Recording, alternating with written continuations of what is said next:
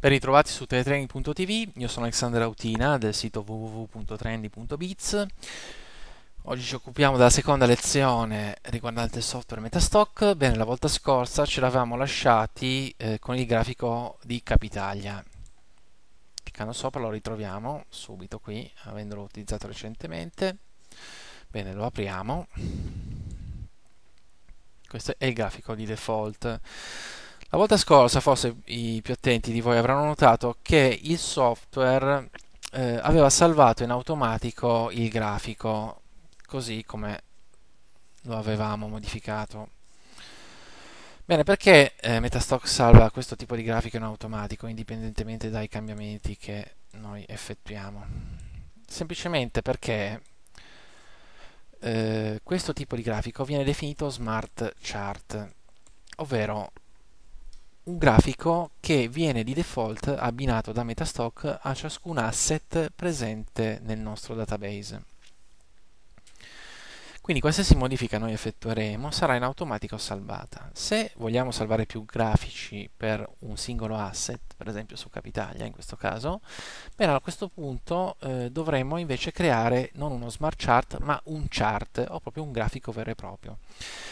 Questo è normale perché se si vuole effettuare più tipi di analisi su uno stesso asset, per esempio, non so, analisi tecnica classica, l'analisi ciclica, l'analisi intermarket, tre tipi di grafici in questo caso, eh, bisognerà creare tre tipi di chart da salvare separatamente. Come creare un chart? Clicchiamo sopra File, eh, New, alla voce Chart, clicchiamo, selezioniamo il titolo di cui vogliamo creare il chart, il grafico, in questo caso rivolgiamoci sempre a Capitalia, solite opzioni temporali che abbiamo già visto nella prima lezione. Bene, questo è il grafico eh, che ci appare, effettiamo le nostre modifiche, vedremo poi in seguito in dettaglio come farle, inserendo qualche media mobile, semplice, di vario tipo. Le possibilità grafiche di Metastock, ve lo anticipo, sono notevoli ed è sicuramente un'ottima piattaforma per disegnare. Bene, abbiamo inserito qualche media mobile, tracciato qualche trend line, a questo punto abbiamo creato il nostro grafico. Se chiudiamo questo grafico, Metastock in questo caso ci chiede se salvarlo o meno, perché è un chart appunto. Clicchiamo sì, nominiamo il nostro grafico giusto così per prova. Cliccando save Metastock eh, ci salverà in automatico il nostro grafico. A questo punto abbiamo creato il grafico, il chart relativo a Capitalia l'abbiamo salvato per ripescarlo sempre file in questo caso open. Bene, c'è un menu a tendina qua sotto, nella parte in basso, che ci chiede eh, quale tipo di file vogliamo aprire. In questo caso noi non cerchiamo lo smart chart, cioè il grafico abbinato di default a singolo asset, ma cliccando sul menu a tendina andiamo a cercare proprio il chart. In questo caso ci appariranno, cioè Metastock ci proporrà i grafici chart che noi abbiamo salvato. Ovviamente nel nostro caso ne abbiamo solo uno, questo qua di prova, cliccando sopra lo apriremo e troveremo Capitalia esattamente così come l'avevamo lasciata con tutte le modifiche da noi effettuate. Quindi due concetti, concetto di smart chart, grafico abbinato in automatico da Metastock su ogni singolo asset, concetto di chart, ovvero di grafico che eh, da noi viene creato appositamente per uno specifico asset e che dovremo salvare e chiamare di volta in volta un solo smart chart per, per eh, ciascun asset di default più charts eventualmente se vogliamo per ogni asset che noi desideriamo analizzare.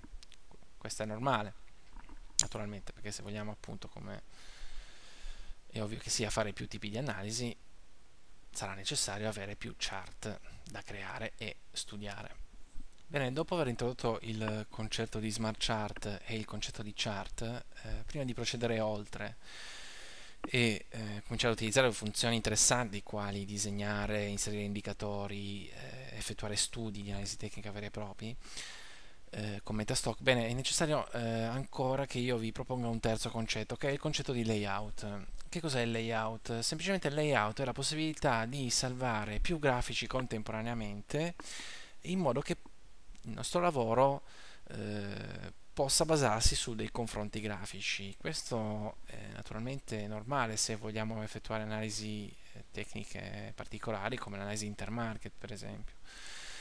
Eh, se vogliamo ad esempio confrontare il titolo eh, so, all'Italia con l'andamento eh, della borsa italiana nel suo complesso quel punto apriremo all'Italia come abbiamo fatto apriamo anche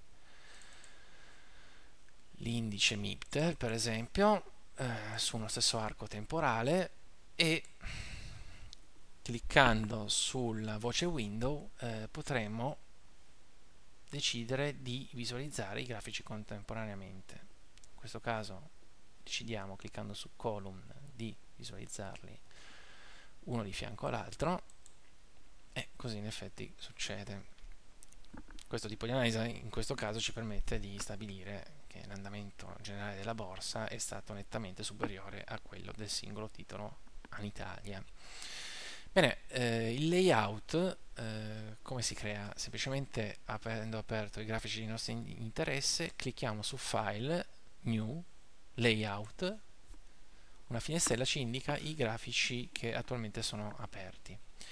Selezioniamo il grafico Mittel, Add, da includere nel layout, all'Italia anche, ebbene, così facendo clicchiamo OK e a quel punto noi avremo creato un layout.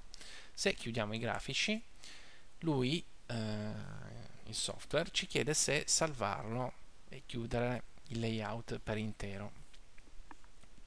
Clicchiamo OK. A questo punto digitiamo il nome del layout, in questo caso semplicemente BBB, un'altra prova. Cliccando Save avremo salvato il nostro layout. Come fare per ripescarlo? semplicemente di nuovo file, open, menu a tendina sottostante il tipo di grafico che vogliamo vedere, in questo caso layouts, bene lui ci visualizza in automatico tutti i layouts che abbiamo a nostra disposizione, c'è anche il nostro PBB, clicchiamo sopra e come vedete in questo caso ci apre i due grafici contemporaneamente. Bene, anche per questa lezione è tutto, nella prossima cominceremo a utilizzare Metastock per fare analisi tecnica vera e propria. Grazie, arrivederci.